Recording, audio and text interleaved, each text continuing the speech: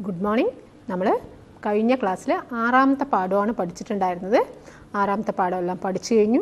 ഇനി നമുക്ക് പാഠം ഏഴാണ് എടുക്കാനുള്ളത്. പാഠം ഏഴ് എന്താണ്? കത്ത്. കത്ത് പറഞ്ഞാൽ എന്താണ്? നമ്മൾ ഇപ്പോഴൊന്നും ആർക്കും കത്ത് എഴുതാറില്ല. ലെറ്റർ അല്ലേ? കത്തൊന്നും എഴുതാറില്ല. നേരത്തെ എങ്ങനെയാണ്? ദൂരത്തെ ഇരിക്കുന്നവർക്കും നമ്മുടെ ഫ്രണ്ട്സുകൾക്ക് എല്ലാവർക്കും നമ്മൾ എന്ത് ചെയ്യും? എന്തെങ്കിലും നമ്മളുടെ വീട്ടിൽ വിശേഷങ്ങളുണ്ടെങ്കിലോ അല്ലെങ്കിൽ നമ്മുടെ കാര്യങ്ങൾ അറിയിക്കുക അല്ലെങ്കിൽ അവരുടെ കാര്യങ്ങൾ അറിയിക്കുക അതിനുവേണ്ടി നമ്മൾ എന്ത് ചെയ്തും?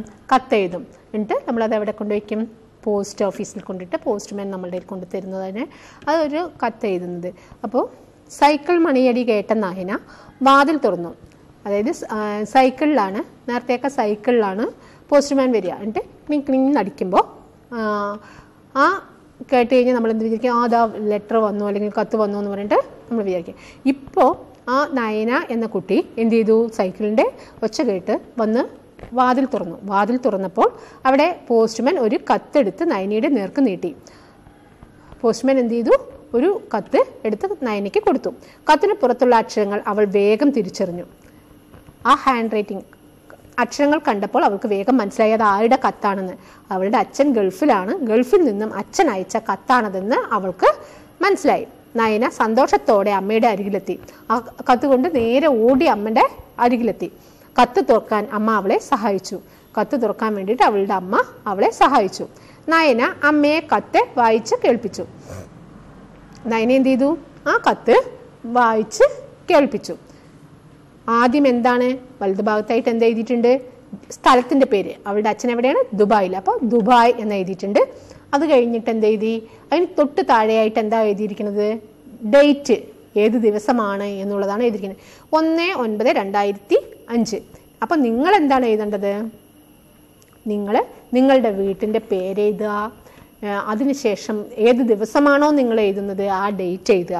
എന്നിട്ടോ നമ്മളൊരു ഒരാളിനെ ആദ്യം ലെറ്റർ അയക്കുന്ന സമയത്ത് കത്ത് അയക്കുന്ന സമയത്ത് ആദ്യം നമ്മൾ പ്രിയപ്പെട്ട അല്ലെങ്കിൽ എന്താ പറയുക ഹലോ അല്ലെങ്കിൽ എന്താണ് നമ്മൾ സ്നേഹത്തോടു കൂടി സ്നേഹത്തോടെ ഒരു അഭിസംബോധന ചെയ്യും. അവരിനെ ഒന്ന് സംബോധന ചെയ്യും. അപ്പം പ്രിയപ്പെട്ട നയനമോൾക്ക് അവളുടെ അച്ഛൻ അവളിനെ എന്താ എഴുതിയിരിക്കുന്നത്? പ്രിയപ്പെട്ട നയനമോൾക്ക്. നയനമോൾ അയച്ച കത്ത് കിട്ടി.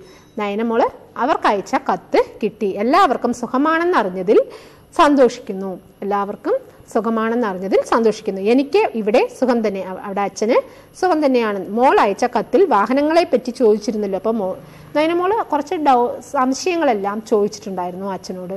അവൾ അതിനുള്ള എന്ത് സംശയം ചോദിച്ചിട്ടുണ്ടായിരുന്നത്? വാഹനങ്ങളെ കുറിച്ച് വണ്ടികളെ കുറിച്ചുള്ള സംശയങ്ങളാണ് ചോദിച്ചിട്ടുണ്ടായിരുന്നത്.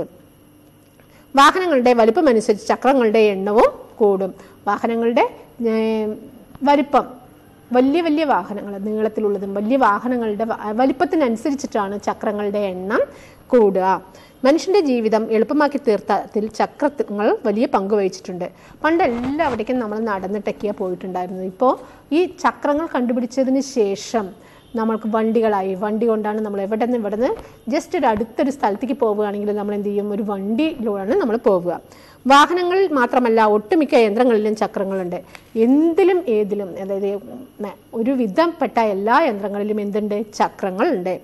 മോട്ടോർ വാഹനം ഓടണമെങ്കിൽ പെട്രോൾ വേണം. മോട്ടോർ വാഹനം ഓടാൻ എന്താ വേണ്ടത്? പെട്രോളോ ഡീസലൊക്കെ വേണം അല്ലേ? പിന്നെയോ? എന്നീ യന്ത്രങ്ങൾ ആവശ്യമാണ്. ഇപ്പോൾ ഗ്യാസിലും വൈദ്യുതിയിലും ഓടുന്ന വാഹനങ്ങൾ ഉണ്ട്. ഇപ്പോൾ നേരത്തെ പെട്രോളിൽ ഡീസലിൽ ഓടുന്ന വണ്ടികളൊക്കെയാണ് കൂടുതലായിട്ട് ഉണ്ടായിരുന്നത് ഇപ്പോഴോ ഗ്യാസിലോടും കറണ്ടിലോടും വൈദ്യുതിയിലും ഓടുന്ന വാഹനങ്ങളുണ്ട്. ഇന്ധനങ്ങൾ കത്തുമ്പോൾ ഉണ്ടാകുന്ന ഊർജം കൊണ്ടാണ് വാഹനങ്ങൾ ഓടുന്നത്. ഇന്ധനങ്ങൾ കത്തുമ്പോൾ ഉണ്ടാകുന്ന ഊർജം കൊണ്ടാണ് വാഹനങ്ങൾ ഓടുന്നത്. വാഹനം ഓടിക്കുന്നയാളെ വാഹനം ഓടിക്കുന്നയാളെ എന്താ പറയുക? ഡ്രൈവർ എന്നാണ് പറയുക. വിളിക്കുക. വാഹനങ്ങൾ ഓടിക്കുന്നവർ നിയമങ്ങൾ അറിഞ്ഞിരിക്കണം അവ അനുസരിക്കുകയും വേണം. വാഹനങ്ങൾ ഓടിക്കുമ്പോൾ വാഹനം ഓടിക്കാനുള്ള നിയമങ്ങൾ അറിയുകയും അവ അനുസരിക്കുകയും വേണം. അതെന്തിനാണ്? അപകടങ്ങൾ ഒഴിവാക്കാൻ വേണ്ടിയാണ് ഈ നിയമങ്ങളെല്ലാം അറിഞ്ഞിരിക്കണമെന്ന് പറയുന്നത്. ബാക്കി കാര്യങ്ങൾ അടുത്ത കത്തിൽ എഴുതാം. നാട്ടിൽ വന്നപ്പോൾ നിനക്ക് വാങ്ങിത്തന്ന സൈക്കിൾ തുടച്ചു വൃത്തിയാക്കി എണ്ണയിട്ട് സൂക്ഷിച്ച് ഉപയോഗിക്കണം. അവൾക്ക് അവളുടെ അച്ഛൻ നാട്ടിൽ വന്ന് നാട്ടിലേക്ക് വന്ന സമയത്ത് എന്ത് വാങ്ങിച്ചു കൊടുത്തിട്ടുണ്ടായിരുന്നു? ഒരു സൈക്കിൾ വാങ്ങിച്ചു കൊടുത്തിട്ടുണ്ടായിരുന്നു. ആ സൈക്കിൾ എണ്ണയിട്ട് വൃത്തിയാക്കി വെക്കാനാണ് പറയുന്നത്. സൂക്ഷിച്ചു അമ്മയെയും അഖിലിനെയും അന്വേഷണങ്ങൾ അറിയിക്കുമല്ലോ. ഓരോ വാഹനത്തിനുമുള്ള ചക്രങ്ങളുടെ എണ്ണം മറുപടി കത്തിൽ എഴുതി അറിയിക്കുമല്ലോ. അപ്പോൾ അച്ഛൻ എന്താ പറയുന്നത്? ഓരോ വാഹനം ഏതാണ്? ആ വാഹനങ്ങളിൽ എത്ര ചക്രങ്ങൾ ഉണ്ടാവും? ഇതെല്ലാം നീ എഴുതിയിട്ട് അച്ഛനെ അറിയിക്കണം എന്നാണ് നയനമോളുടെ അടുത്ത് നയനമോളുടെ അച്ഛൻ പറയുന്നത്. നയനമോൾ നന്നായി പഠിച്ചു വളരണമെന്ന് ആഗ്രഹിച്ചുകൊണ്ട് കത്ത് നിർത്തട്ടെ. എന്നിട്ട് സ്നേഹപൂർവം എഴുതിയിട്ട് ഒപ്പിട്ടു. എന്റെ സ്വന്തം അച്ഛൻ Gopalakrishnan Dubai oil corporation Dubai. ഇത്രയുമാണ് എഴുതിയിരിക്കുന്നത്. അത് അവരുടെ അഡ്രസ്സാണ്. അച്ഛൻ അച്ഛന്റെ അഡ്രസ്സാണ് എഴുതിയിരിക്കുന്നത്. ഓക്കെ. അപ്പം നിങ്ങൾ എന്ത് ചെയ്യണം? നിങ്ങൾ നിങ്ങളുടെ ഫ്രണ്ട്സിനോ അല്ലെങ്കിൽ ടീച്ചർക്കോ ഒരു ലെറ്റർ എഴുതുക. എന്നിട്ട് ഇതേപോലെ ഇതുപോലെയല്ല ഞാൻ പറയുന്നത്. നിങ്ങളുടെ വിശേഷങ്ങൾ വെച്ചൊരു ലെറ്റർ ടീച്ചർക്ക് എഴുതി അയച്ചു തരാം കേട്ടോ. ഇനി ഈ ചാപ്റ്റർ ഒരിക്കൽ വായിച്ചു തരാം. സൈക്കിൾ മണിയടിയേറ്റ നയന വാതിൽ തുറന്നു. പോസ്റ്റ്മാൻ ഒരു കത്തെടുത്തു. നയനയുടെ നേർക്ക് നീട്ടി. കത്തിന് പുറത്തുള്ള അക്ഷരങ്ങൾ അവൾ വേഗം തിരിച്ചറിഞ്ഞു. ഗൾഫിൽ നിന്ന് അച്ഛൻ അയച്ച കത്താണതെന്ന് അവൾക്ക് മനസ്സിലായി. നയന സന്തോഷത്തോടെ അമ്മയുടെ അരികിലെത്തി. കത്ത് തുറക്കാൻ അമ്മ അവളെ സഹായിച്ചു. നയന അമ്മയെ കത്തെ വായിച്ചു കേൾപ്പിച്ചു. ദുബായ് ഒന്ന് ഒൻപത് രണ്ടായിരത്തി അഞ്ച്. പ്രിയപ്പെട്ട നയനമോൾക്ക് നയനമോൾ അയച്ച കത്ത് കിട്ടി. എല്ലാവർക്കും സുഖമാണെന്നറിഞ്ഞതിൽ സന്തോഷിക്കുന്നു. എനിക്ക് ഇവിടെ സുഖം തന്നെ. മോൾ അയച്ച കത്തിൽ വാഹനങ്ങളെ പറ്റി ചോദിച്ചിരുന്നല്ലോ.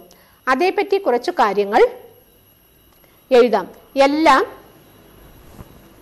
എല്ലാ വാഹനങ്ങൾക്കും ചക്രങ്ങൾ ഉണ്ടെന്ന് അറിയാമല്ലോ.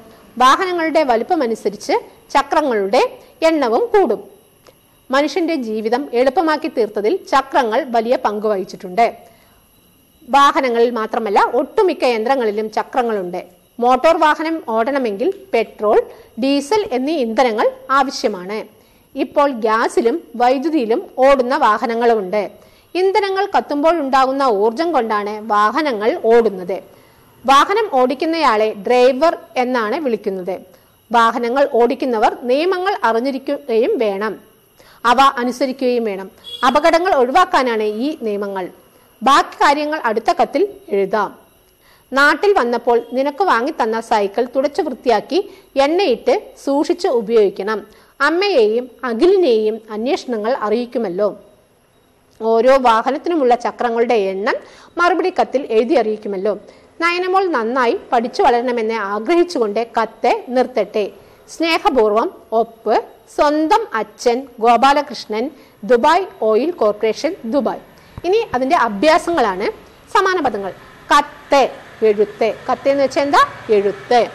ഇന്ധനം കത്തിക്കാൻ ഉപയോഗിക്കുന്ന വസ്തു. ഇന്ധനം എന്ന് വെച്ചാൽ? കത്തിക്കാൻ ഉപയോഗിക്കുന്ന വസ്തു. ഊർജം ശക്തി. ഊർജം ശക്തി. ഡ്രൈവർ വണ്ടി ഓടിക്കുന്ന ആൾ. ഡ്രൈവർ ആരാണ്? വണ്ടി ഓടിക്കുന്ന ആൾ. വാഹനം വണ്ടി. വാഹനം വണ്ടി.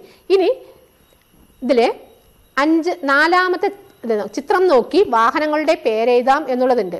ആ വാഹനങ്ങൾ ഏതൊക്കെയാണെന്ന് എഴുതണം കേട്ടോ. പിന്നെ കരയിൽ സഞ്ചരിക്കുന്നത് വെള്ളത്തിൽ സഞ്ചരിക്കുന്നവ പറക്കുന്നവ എന്നിങ്ങനെ തരംതിരിച്ച് ഒരു നോട്ട്ബുക്കിൽ വേറെ വേറെ ആയിട്ട് എഴുതുക. ഓക്കെ.